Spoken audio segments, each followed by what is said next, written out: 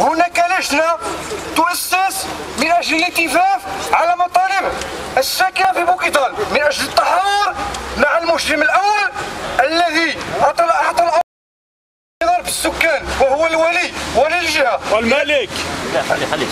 هو الولي الجهة. إذا تشكلت لجنة من بعض العناصر تشكلت لجنة من بعض العناصر من أجل قيام بحوار لأجل الاتفاق على المطالب.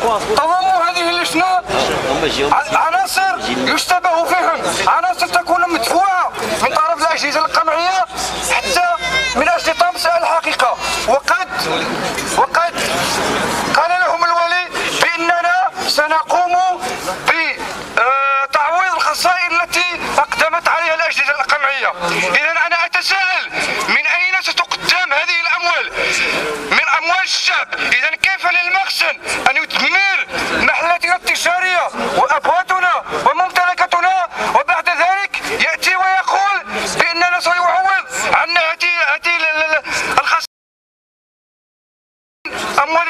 فأنا أدعو كل الأطراف السياسية والحقوقية والنضالية الحاضرة معنا هنا من أجل أن نقف ضد هذه اللجنة المشكلة التي شكلت فقط من أجل الاتفاق على مطالب. ساكنه بوكيتان ساكنه بوكيتان وكل آه، آه، الريف عموما والشعب المغربي.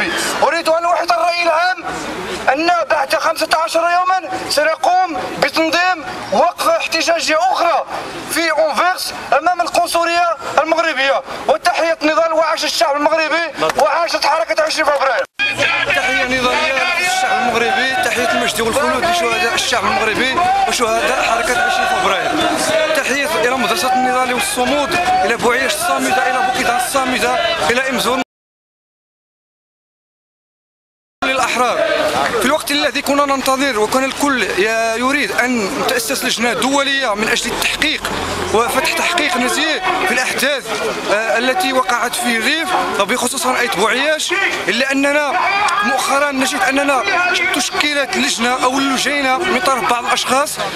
من بينهم شخص كان طوارئ للنضال لم يحضر أي حلقيات. إذا فكيف يعقل أن نتحاور مع المجرم والمتهم الذي أهان شعبنا آه، أهان أمهاتنا أهان إخوتنا أهان كل الشعب. لأنه حينما نتحدث عن بوكيتان نتحدث عن بني بوعياش فإننا نتحدث عن الريف بصفة عامة. لا يمكن أن لجنة صغيرة أن تتحدث باسمنا ومع من؟ مع مع من؟ مع مع مع ال- المجرم الذي أعطى الأوامر بتنفيذها في بوكيتان.